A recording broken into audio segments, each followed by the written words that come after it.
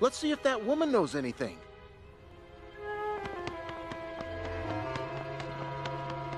Excuse us, ma'am. We were wondering. Did you just assume my gender? Huh? Huh? What if I identify myself as a pineapple? Did you consider that? Huh? Yeah, exactly.